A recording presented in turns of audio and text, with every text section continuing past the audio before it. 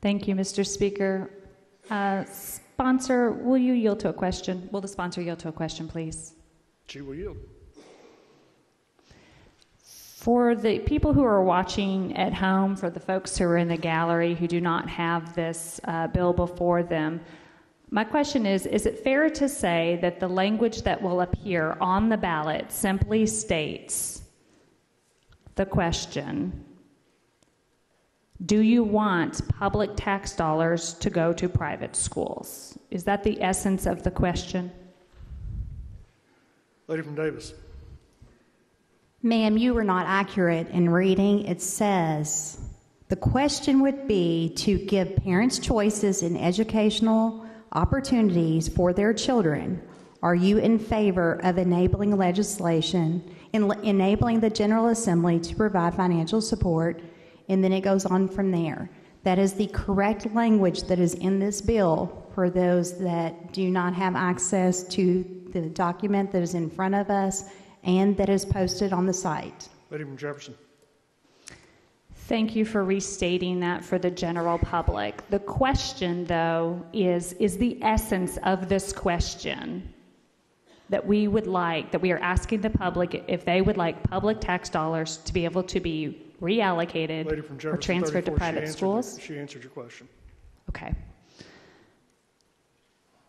So for folk, may I speak on the bill, please? Yes, ma'am.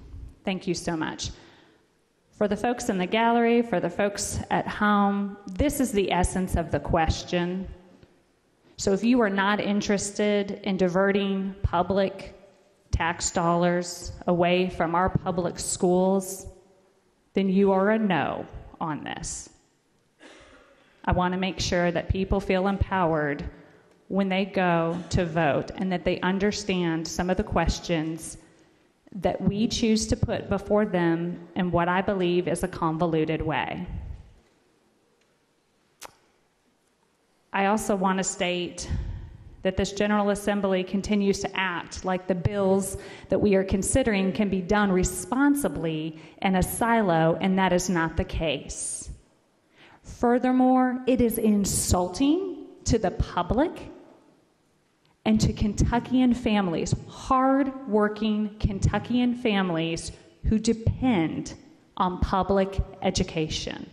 It's insulting to them that we are trying to convince them that this is simply a bill that just puts a simple question on the ballot without assuming that there will be no negative repercussions, no unintended consequences, no doors that will be open for any other types of schools to be started in this state, to be funded, for lack of accountability, for the myriad of things that many of my colleagues on this floor have tried to state.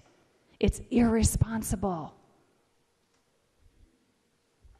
I don't know why we're doing this. And I hope that the voters are paying attention to who in this room has a sense of integrity and responsibility to the role that you were elected to play here. And I think it's really ironic and rich that we had a gallery full of students, and we still have some on the floor, and they have a front row seat to seeing this legislative body basically say, nah, we're good. We don't need to keep putting money into public education. We're totally fine redirecting that to a private school.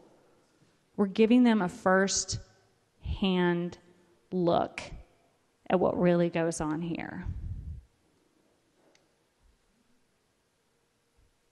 This bill will not help Kentuckians, and it certainly won't help the Kentuckians that really need it. And for that, I will be a no.